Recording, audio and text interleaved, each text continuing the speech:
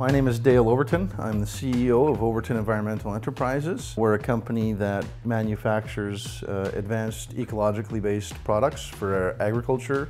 Uh, and then we also have an industrial division that manages organic wastes for large food processing companies. Today, I'd like to talk about soil biology, uh, the science behind it, and its implications in modern agriculture. I think that there's been a paradigm in modern agriculture, and that is soil has been depleted of its organic matter over the last 50 years with the advent of modern conventional ag. It's basically just been considered dirt and been completely mismanaged. Microbes that have formed relationships with plants and soil over the past thousands of years have been ignored and their roles have been discounted for modern day fertilizers. And what this has done is created basically uh, a massive agri-industrial complex that completely discounts what um, Mother Nature has naturally done uh, to help uh, plants and agri-systems uh, in their natural form grow. Typically when you look at the modern agricultural fertility programs, uh, pH is the real driver. You look at uh, the nutrient pool in the soil, you determine what the pH is, and that gives you your availability of nutrients. Um, uh, it's all chemistry. Uh, it tells nothing about what the plant is doing or what the actual life in the soil is doing for the plant. The other thing that, that people look at is something called Mulder's chart, which is uh, how the availability uh, and presence of certain minerals will impact other minerals. So for example, you've got um, excess potassium in your soil, you'll see an imbalance in magnesium and calcium. However, this again doesn't tell you anything about what biology is doing. It strictly talks about what's happening chemically in the soil. Soil is not just dirt, soil is alive. Uh, it has an immense functional role in the global ecosystem. Again, if you consider a plant, it's got 50% of its biomass is actually under the soil uh, in that root mass. Uh, and that's responsible for almost uh, all nutrient uptake. You get some from the foliage, but mainly your nutrients are taken up from your root zone. Soil houses a huge functional diversity of microbial life. Uh, we know more about the moon than we know about soil. So I think it's really important that we spend time looking at what soil is doing and what, what kind of organisms live in the soil uh, and how we can harness that information and use it uh, to our advantage uh, to help reduce the amount of fertility we're adding into our crops, maintaining yields, uh, but also just creating a sustainable food system. How are those uh, plants getting their nutrients? How is that biomass created? Well, it's created through the activity of microbes and through microbial uh, movement, growth, and development, uh, nutrients are released. Um, there's a whole plethora of roles that microbes basically have in an ecological system.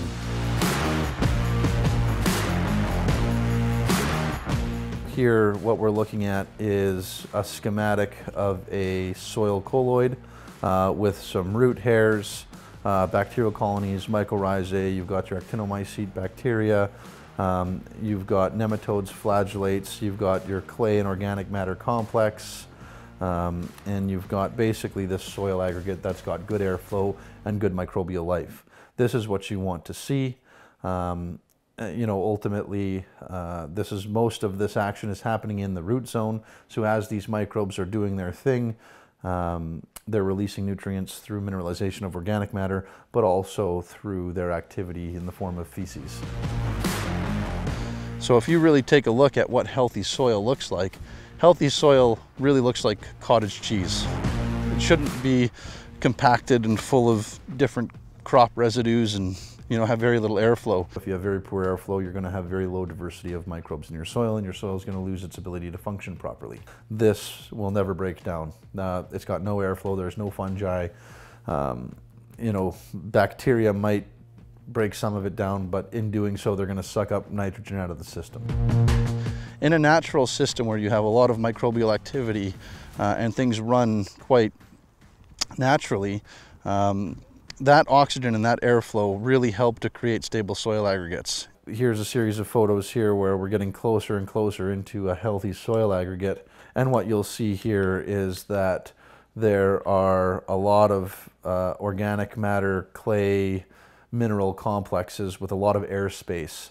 So you can kind of see that um, there's really good potential for this soil to house a really positive microbial community um, that's going to be able to access the resources that the soil has to offer. This is our organics resource management facility in Portage la Prairie, Manitoba. And what we see here is the process of basically building healthy soil. And we do this by taking food processing waste uh, and blending it with various uh, carbon sources to create uh, what we call uh, a humified compost. And this is kind of like the cottage cheese that I was talking about. Um, as you see, there's, there's larger aggregates, smaller aggregates, uh, and there's really quite a bit of life in here. As you can see, um, there's quite a bit of fungi growing on this product right now as it's in its final stages of growth. So any of the carbon that's left is actually uh, growing fungi on, on, the tips. And, you know, the wood chips basically peel apart very easily. Uh, so you've got good degradation going on there really what I'd like to talk about uh, for the rest of this presentation is how different microbes function in plant growing systems. Uh, there's about five or six different functions that I want to look at, including nutrient mineralization, um, phytohormone production, antibiotic production, nutrient cycling, and crop residue management. These are the real big things that microbes do that I think are misunderstood, and hopefully we can enlighten uh, the audience on some of these things uh, over the next few minutes.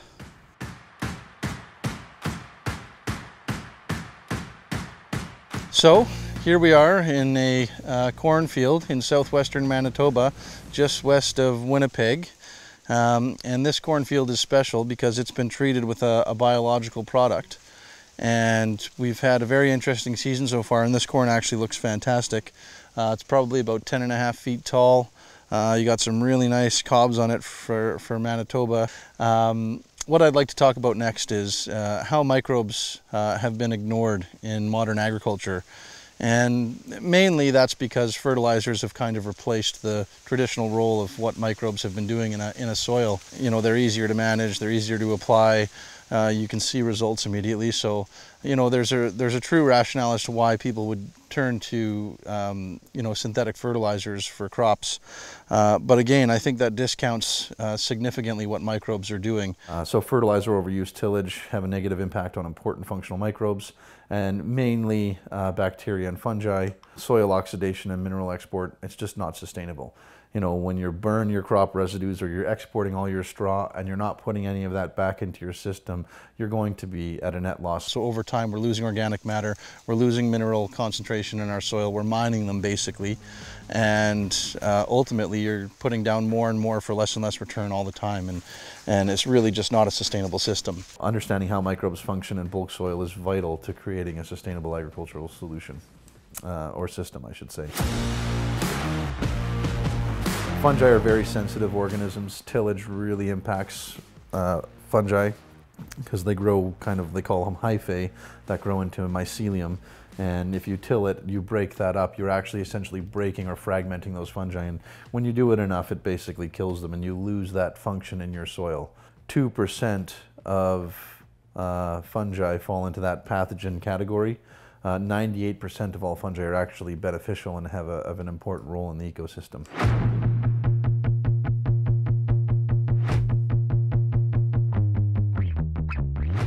One of the reasons microbes have really been ignored is because we can't see them. There's new techniques that have really kind of unlocked the true secrets of the microbial world, and these techniques are called metagenome analysis or genetic analysis. So we can actually understand the who, the whats, the whens, the wheres of the microbial world, and how then can we use that information uh, to influence uh, how we farm our, our crops and our fields. We can now take a sample of soil and we can look at the, the DNA of all of the different bacteria and fungi that grow in these soils and get an outlook of what that soil looks like from a diversity standpoint. You can uh, code for phosphorus solubilization or phosphatase, which is an enzyme that pulls phosphorus out of solution.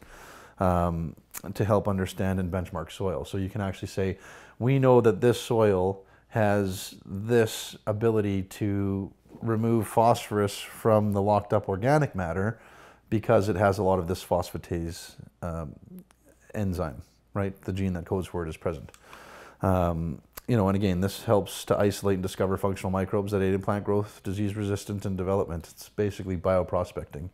And it's what uh, the medical field is doing to look for new antibiotics. It's what large agricultural companies are doing to try to isolate certain microbes that can, um, you know, ultimately be uh, patented or form some kind of intellectual property, and then they can sell to you, obviously. Um, you know, uh, I'm more of an ecological fan myself. I believe that it's more of about a system than one microbe. Uh, so that's why we do what we do, but uh, happy to chat about that with anybody. So this uh, photograph is really of, of the bacterial community that we've isolated from our product called EcoT. So this is a metagenome analysis done by Mr. DNA out of Texas, and uh, this was part of a master's program. And what we can see here is we have a whole bunch of functional bacteria uh, along the bottom axis, and then we have uh, different uh, products that we build at our company and it basically shows which products these microbes basically come from and how we can uh, utilize techniques to grow uh, and encourage their growth and development uh, using a bioreactor. Uh, so it's very, very cool. And this is really what this whole future of metagenome work is allowing us to do. We can understand using genetic techniques exactly how our soil functions microbially so we can augment the microbial community with fertilizer and allow the soil to feed the plant and not necessarily the other way around. Um, once we can do that, I think that ultimately we will create a much more profitable farming system for, for the modern farmer. You know, if we take a look, the corn is, uh, you know, it's not sending out any tillers. These are really nice uh, long tap roots. Um, you've got these fine, fine roots. So these roots here are your water roots. And then these finer roots are really uh, the homes of the microbes. And ultimately, that soil root microbe interaction is kind of where everything's happening. And when you have a really healthy community, you'll see that this just falls apart really nicely like cottage cheese. And that's a really nice soil structure. Ultimately, this is a really hard clay soil, but right in the rhizosphere, right where the plant roots are, you see it's really like cottage cheese. And that's what we want to see. And that's the signs of, of a really healthy soil. And, um, you know, ultimately this is what we want to do because when we have this, we can really start to reduce the amount of inputs that we're applying to this crop. Uh, now, in this case, I'm not sure if this had a, had a, a fungicide or not. I'm sure that there was a pre-emergent herbicide on it. And, and again, I'm not preaching don't use uh, fungicides or herbicides. What I'm trying to say is if we use biology, we can use those products less and less. And I think that's really the take-home message is ultimately to create that sustainable system. We need to rethink about how we use uh, these tools like the fungicides and insecticides and, and um, you know, synthetic nutrients. Uh, for example, uh, anhydrous ammonia is uh, a well-known bacterial killer, uh, as is glyphosate. So, um, you know, again, I think that by understanding the roles microbes play and the value they truly have in the system, uh, we can all do better.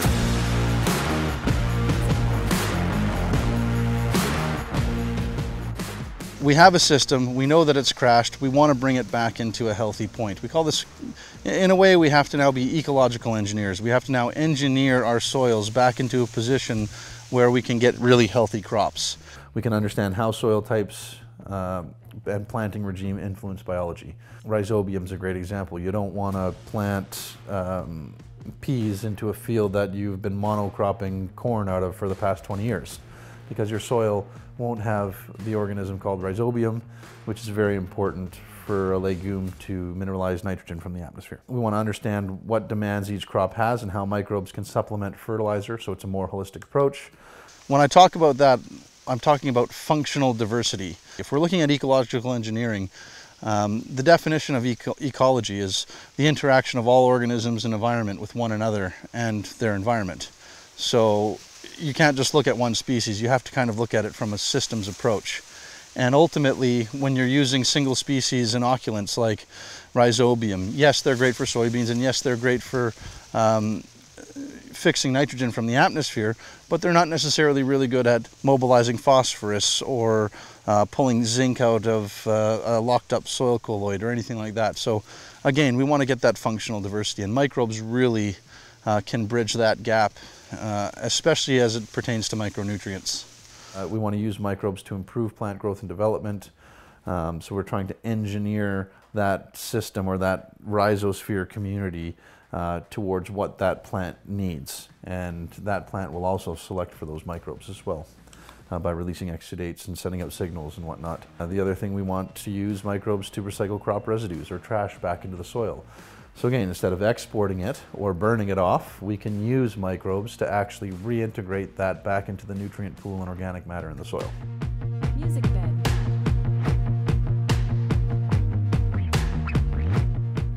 Microbial roles in plant growth and development. Um, basically, plants provide sugars uh, through exudates to the soil, which stimulate microorganisms. Those micro microorganisms, through their metabolic activity, release nutrients, which then the plant can actually uptake.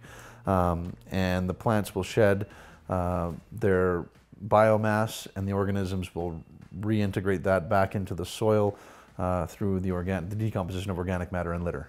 So um, you've got these direct mechanisms that basically create this closed loop system. Um, that's sustainable agriculture. When you start to export your organic matter, like your straw and or burning it off for that matter, you're really not doing a service to your system. So it's really important to understand how we can manage that stuff a little bit better. So important ecological uh, functions held by microbes. We've got nutrient mineralization, nitrogen fixation, phytohormone production, antibiotic production, nitrogen cycling, and organic matter management. All of these are very, very important functions and all of them are microbial driven processes. The first topic we're going to talk about is, or function I should say, is macro and micronutrient mineralization. Uh, again, this is extremely important. As we know, the soil houses a huge amount of mineral nutrition. However, this nutrition is not available to the plants. It's actually uh, a microbial function in natural systems that unlocks some of these minerals for plant uptake. So you got your elements, phosphorus, nitrogen, potassium, magnesium, sulfur, calcium, carbon, iron, zinc, boron, manganese, uh, copper, uh, molybdenum are all very important plant elements uh, or elements for plant growth and development.